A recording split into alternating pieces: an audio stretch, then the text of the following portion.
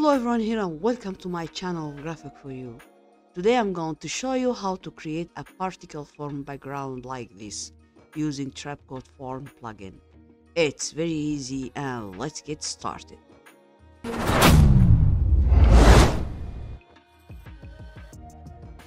First create a new composition, then hit OK, layer new solid and I'll call it form.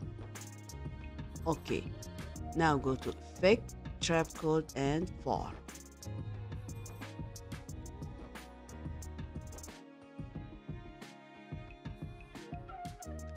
Okay, open base form, X, Y, and Z, and now change size X to 10,000.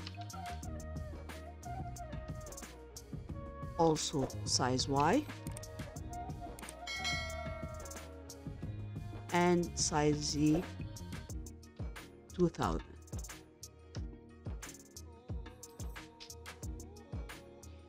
Okay, now go to particles in Z and change it to 12. Yes. Go to X rotation, 90, and also I'll increase Y rotation 245 okay. Alt and click and right here time times 3 and see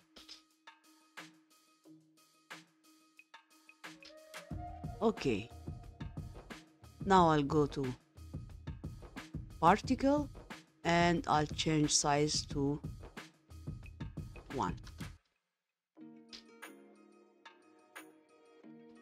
also color I'll choose X over X and choose your colors. Now I'll go to effect stylize and glow. Control D to copy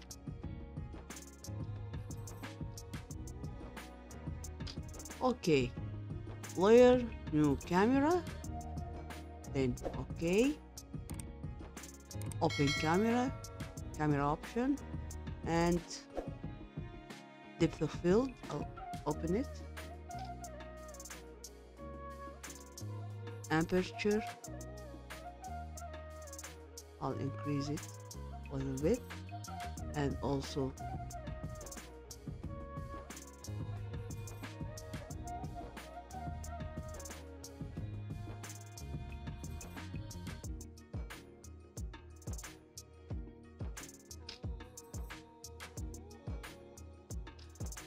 okay again I'll go to form and effect color and curves.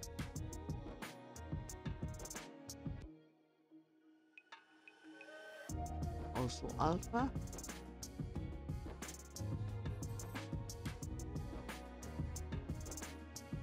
And